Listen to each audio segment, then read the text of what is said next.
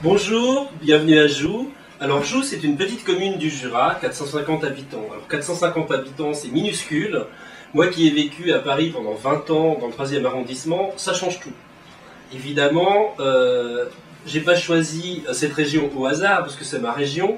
Alors d'ailleurs, c'est une double région. C'est à la fois la Franche-Comté, puisque Joux est dans le Jura, et c'est juste à côté de la Bourgogne, euh, où mes parents habitent en Côte d'Or et où la moitié de la famille vient de là.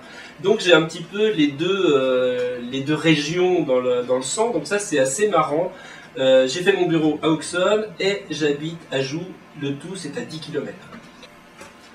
S'installer dans un petit village quand on vient de Paris, évidemment, ça peut surprendre. En fait, ça a plein d'avantages. Euh, L'intérêt, c'est que nous nous sommes installés en plein cœur du village, c'est-à-dire sur la place avec l'église, la mairie, le café, l'arrêt de bus. C'est vraiment très cliché. Mais en fait, euh, c'est vraiment euh, un village qui a, une, qui âme, comme beaucoup de villages. Donc en fait, les voisins, les voisines, euh, tout le monde se dit tiens, qui c'est ces deux oiseaux qui viennent s'installer ici?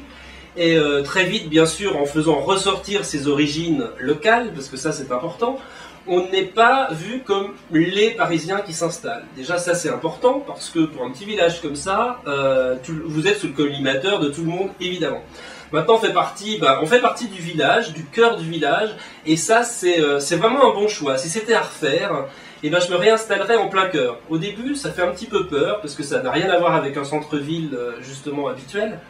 Et là, eh bien, euh, tout le monde, euh, bah, tout le monde est là. C'est une vraie, entente. Et franchement, ça change de la vie parisienne. Euh, quand on sort du métro ou de l'RER, euh, je prends le TGV, deux heures après j'arrive là, alors il n'y a pas grand monde, on respire et puis on peut faire plein d'autres choses. Moi pour travailler j'ai besoin d'ADSL, d'un téléphone et de mon portable.